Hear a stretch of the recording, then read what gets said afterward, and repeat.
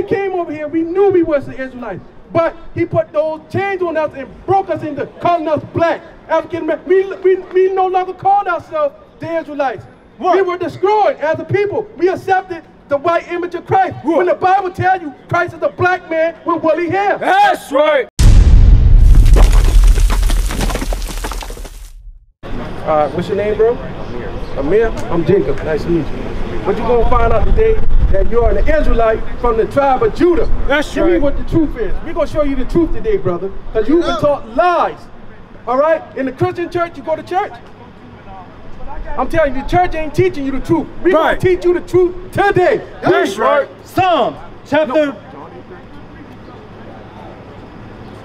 John chapter 8 verse 32. out. And ye shall know the truth, and Uh-huh. the truth shall make ye free. So today, brother Amir, it says, you shall know the truth, and the truth shall do what? Set you free. we going to set you free today, brother, from the bondage of your mind that the white man had you in. Read Psalms 119, 142. Psalms chapter 119 verse 142. Bring it out. Thy righteousness is an everlasting righteousness, and thy love is the truth. And thy what? And thy love is the truth. So what's the truth, brother? The laws, the laws of God. So once you come back and keep God's law, he's going to come back and rescue one third of Israel and put us back in our promised land as he has promised us. That's All right. Give me uh, Deuteronomy 1 and 1. We're going to show you that you're an Israelite today, brother. All right? Read that. Deuteronomy chapter 1 and verse 1. These be the words which Moses spake unto all Israel. You familiar with Moses rescuing the children of Israel out of Egypt? When he went out of Egypt, he's talking to the Israel in where? On this side Jordan, in the wilderness. In the wilderness. So who's Moses talking to? The Israelites. He talked to the Israelites in the wilderness. Give me that Deuteronomy 28, 1 and 1. Deuteronomy chapter 28 and verse 1. Uh-huh. And it shall come to pass, if thou shalt hearken diligently unto the voice of the Lord thy God, to observe and to do all his commandments, which I command thee this day, that the Lord thy God will set thee on high above all nations of the earth. So, my question to you now, brother. Are we above all nations right now? Are we? You sure? No. No, we not. We on the bottom. We on the bottom. Why we on the bottom? Because we didn't obey God's laws. That's right. Read 15. Deuteronomy chapter 28 and verse 15. Bring it out. But it shall come to pass, if thou wilt not hearken unto the voice of the Lord thy God, So Moses is telling chil- children of Israel, if we didn't listen to God, what would happen?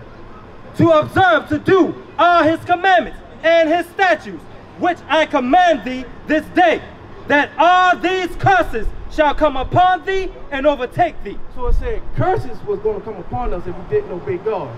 Curse a good thing or a bad thing? Bad, right? So who Moses talking to though? The Israelites. Give me 16. Deuteronomy chapter 28, verse 16. Cursed shall be, uh, cursed shall thou be in the city. It said, curse shall we be in the city. Look around. Are people cursing the city today? You got drugs running through the community. Yeah. We got we killing each other. Liquor store in every corner. We waiting at the bus stop when we should own the damn bus stop. Because this world was created for us. That's right. right. Read. And, and cursed shall thou be in the field.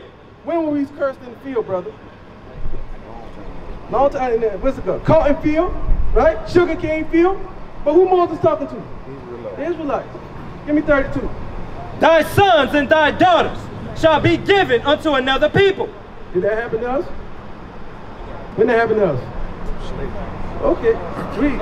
And thine eyes shall shall look and fail with longing for them all the day long.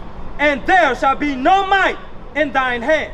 So, if you had a child, and let's say a master from North Carolina came down, your child from here in Columbia, right? Said you had no might in your hand to get them back. Why? Because when you try to get them back, what would happen? Hell gonna break you. Oh hell, they're probably gonna kill you behind. All right, give me 48. Deuteronomy chapter 28, verse 48. All right. Therefore shalt thou serve thine enemy. So, are we serving our enemies today? Give me uh, first, First Corinthians 11 and 3. First Corinthians chapter 11 and verse 3. No. But, but I will have you know that the head of every man is Christ, So the head of every man is who? Christ. Christ, right? All right. Read. and the head of the woman is the man, And the head of the woman is the man, right? Read. and the head of Christ is God. And the head of Christ is God. Read. Hmm, every man praying or prophesying, having his head covered, dishonoreth his head. So when the word is coming out, we are praying and prophesying in front of you. So it said, every man that have his head covered, dishonor who? His head. Who's your head? Look, Who's your head? What it said? Read it again. Read three again. But I will have you know that the head of every man is Christ. So the head of every man is Christ. So when the word is coming out, you having your head covered. Who are you dishonoring? Christ. So are you going to continue to dishonor Christ, or are you going to take off your headband to show Christ that you are showing repentance towards Him? All praises, brother. All praises.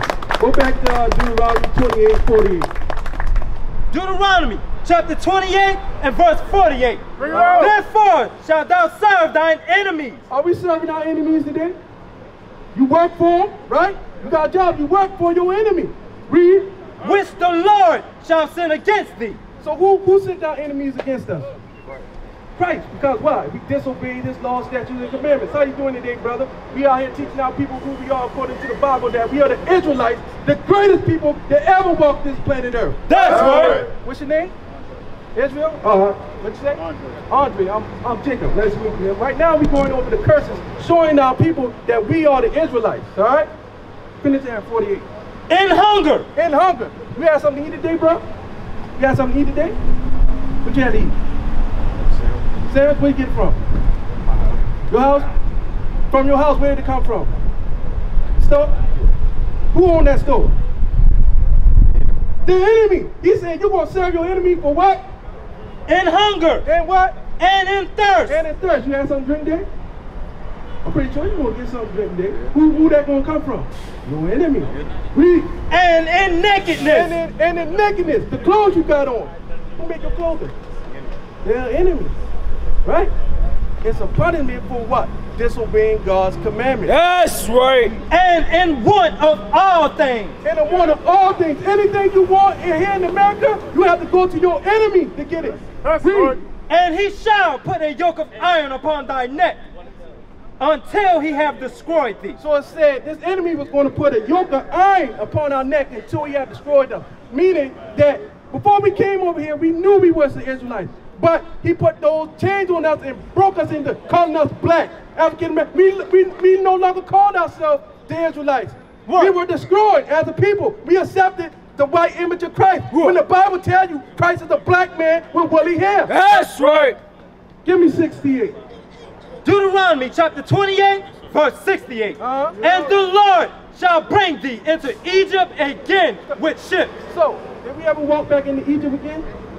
No, Egypt, Egypt mean, uh, it means another word. We're going to find out what Egypt means because we were in slavery in Egypt, right? Give me that. Exodus chapter 20 and verse 2. Uh-huh. I am the Lord thy God, which have brought thee out of the land of Egypt, out of the house of bondage. So, it said he brought us out of the house of bondage. What's another word for bondage? Slavery. Now let's go back to Deuteronomy 28, 68 and get the full understanding. Deuteronomy chapter 28 and verse 68. Uh-huh. And the Lord shall bring thee into Egypt again by the way whereof I spake. Read again. Deuteronomy chapter 28 verse 68. And the Lord shall bring thee into Egypt again with ships. So it said, The Lord shall bring you into slavery again with ships. Who did that happen to? Who did that happen to, brother? Who did that happen to? Us. But who was Moses talking to? The Israelites. The curses was going to fall upon the Israelites if we broke God's commandments. Finish that out. By the way whereof I spake unto thee, thou shalt see it no more again. Meaning our homeland, we wasn't going to see it no more again. Read. And there ye shall be sold unto your enemies. And after we got off those ships here in America, It said we shall be sold to our enemies. Did that happen? What? That's showing you the Bible is a true book. That's Read. right. For bond men and bond women. For slave men and slave women, read. And no man shall buy you. Meaning no man's going to save you from these curses. Malcolm X tried, Marcus Garvey tried, Rosa Parks tried. No one is going to save you from these curses but the black Messiah, Jesus the Christ. That's right. Give me, give me Luke 13 and 3. Now, no, give me Deuteronomy 10 and 12. Now you knowing that you're Israel is something you have to do. Give me that. Deuteronomy chapter 10 and verse 12. Huh? And now, Israel, what doeth the Lord thy God require of thee? Now knowing that you Israel, God requires something of you. Read what he requires. But to fear the Lord thy God, to walk in all his ways, and to love him, and to serve the Lord thy God with all thine heart and with all thine soul, to keep the commandments of the what? Lord, to keep the commandments of the Lord. That's what you got to do, brother. You got to keep all God's commandments. Because how do you how do you get in the kingdom? Let's see how you get in the kingdom. Give me that Matthew 19, 16. We're going to show you how to get in the kingdom. Once you learn you're Israel, you got to repent, come back, keep God's law. Because the, the kingdom is only promised to the 12 tribes of Israel. That's right. That's it. No one else. Read that. Matthew chapter 19, verse 17. 16. 16. And behold, one came and said unto him, Good master, what good thing shall I do, that I may have eternal life? So this man came to Christ and said, What good thing must I do that I may inherit, inherit eternal life? Read. And he said, and, and he said unto him, Why callest thou me good? There is none good but one, that is God. So Christ said, Ain't none good but one. That is God. Read. But if thou wilt enter into life, So if y'all want eternal life, listen up to what you must do. keep the commandment. Do what? Keep the commandment. Keep the commandments if you want eternal life, brother. That's right. How you doing today, sis? What we out here doing? We teaching our people who we are. Doing good. That's why I stopped, because you're doing good. Yes, yes, ma'am. What's your name? Daisy Roach. Daisy Roach. I'm Jacob. How you doing All right, today? Mr. Dick, I'm So- fine. Blessed. Highly Yeah, we favored. showing our And, people and that's right. that we are the Israelites. That's what all we are. That's what we are. And we're showing them the laws, what they must do to get the kingdom. Now, right. I'm going to show you a law, sister, that you must do if you want the kingdom. Give me First John 5 and 3. Because I'm going to show you, because I'm pretty sure we all out here surrounded say, we love God, right? Right? Mm-hmm. I'm listening. Let's see what the love of God is. First John chapter 5 and verse 3. Uh-huh. For this is the love of God, that we keep his commandments, and his commandments are not grievous. So what's the love of God? Keep his commandments. Keep his commandments, right? I'm going to give you a commandment today you probably never heard, right? So if you love I'm- God, you I'm gonna ahead, I'm his ahead, commandments, I'm ahead, all right? I'm ahead. Give me that. Deuteronomy chapter 22 and verse 5. Uh-huh. The women shall not wear that which pertaineth unto a man. So it says a woman shouldn't wear which pertaineth unto a man. What's that, sis? I'm listening. What's that? It's God. No, what, what's that? What, what When you, put on the, pants, when you put on pants and stuff, but then you got to go all the way to the Okay. New Law, to New Testament. That's law. Neither shall a man put on a woman's garment. So it says, neither shall a man put on a woman's garment. What's that, brother? What is a woman's garment? Skirts. Skirts, dresses. So a man shall put on a dress and a woman shall put on pants. Why? Because that's cross dressing. God said, don't do that. That's right. Finish that out.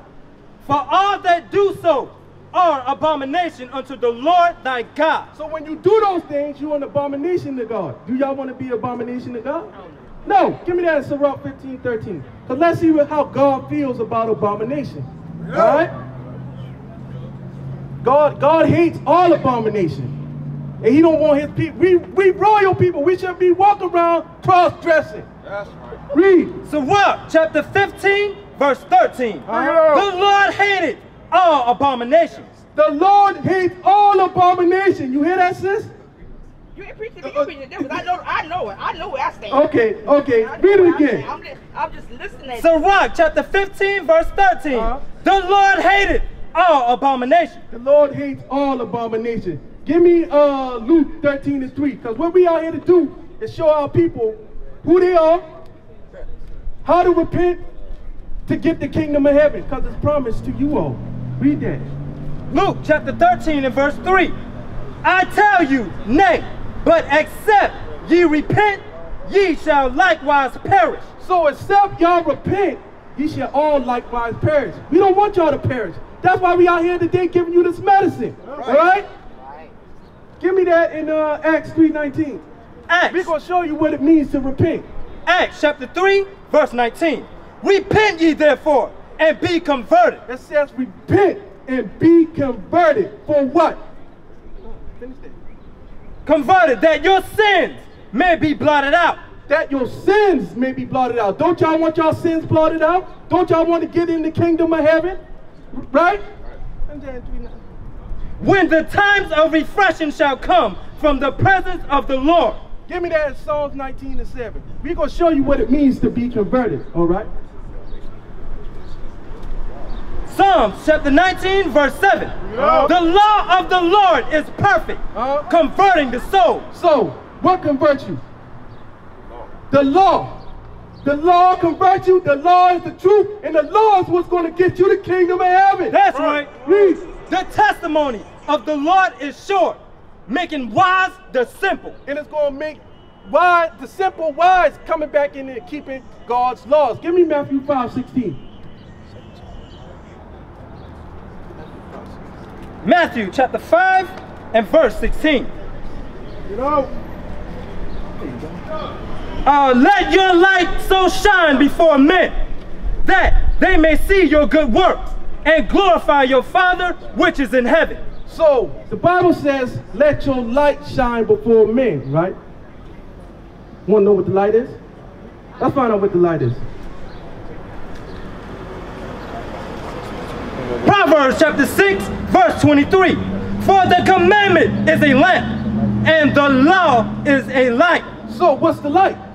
The law. Everything's revert back to the law. You got to keep the law if you want to get the kingdom. All right? Give me uh go back to uh, do y'all understand about Deuteronomy 22 and 5 about the pants? That a woman should be putting on dresses. Give me that in first, shouldn't first, I know, I know First. Timothy 2 and 9. Shouldn't be. Shouldn't be put should put on dresses. Give me that. First Timothy chapter 2 and verse 9. In like manner also, that women adorn themselves in modest apparel. So it says the woman shall adorn themselves in modest apparel. Do y'all know what modest means? I know, but you tell me what you Modest know. means not showing sexual attention to yourself, being covered up, cover your body because you dressing like that, you're causing your brother, brothers out here to lust after you, and you don't want to do that. You want to dress royal because you're a princess. When you, for instance, right? Any of y'all been to a prom Yeah. or wedding? What you had on? Everything was covered up, probably my. You ain't had on dress, right? Yeah. Why you had no pants? Huh? we never wore your pants to a prom. Cause why? Cause it's womanly to wear a dress. God said, don't be in pants. That's Hard right. about that. He said his his uh, laws are not grievous. That's right. His laws are easy. You got to keep them to get in this kingdom. What you got? Zephaniah chapter 1 and verse 8. And and it shall come to pass in the day of the Lord's sacrifice that I will punish the princes and the king's children and all such as are clothed with strange apparel. So this is saying when Christ comes back, he's going to put to death all those that's clothed in strange apparel. He already explained what the strange apparel is in the Bible. Man should be in the dress, woman should be in pants, right? You got that, sis? Yeah. You got about it? being So, braiding up their so, so, so what should you be in? A dress. So from now on, now that you know the law, you're gonna be held, you're gonna be held accountable from this day forth. So the next time you know the law, we should see you in pants. And not only that, I mean see you in dress. See you in the dress. We should not see you in pants. We should see you in the dress. And what? Look, give me uh numbers 1538. This is something you huh? Yeah, watch me. Don't watch. Numbers 1538. Because remember we showed you that the light was the law, right? The light is the law, right? Let's give you a law right now. Numbers chapter 15 and verse 38. Uh-huh. Speak unto the children of Israel and bid them that they make them fringes in the borders of their garments. So he said, bid them to make the fringes in the border of the, our garments. You see this right here? These are called fringes, right? All right, read. throughout their generations, and that they put upon the fringe of the borders a ribbon of blue. And that we'll put upon the fringe a border a ribbon of blue, as you see all these brothers have. This is commandment. This is the law that God gave to Moses to give to the Israelites. Read.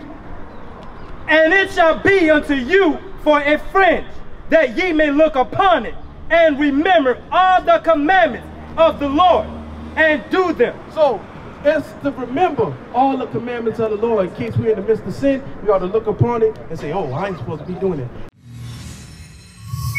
Shalom. This is Bishop Nathanyel of Israel United in Christ. Please subscribe to our YouTube channels.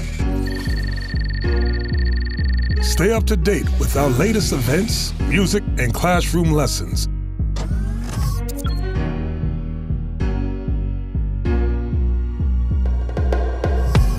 IUIC plans to continue visiting different countries where this gospel has not been preached before. IUIC needs your help in pushing this truth.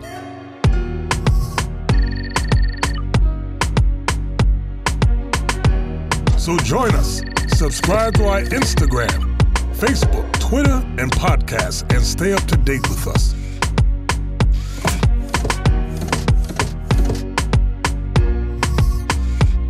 For more information, please visit www.israelunite.org.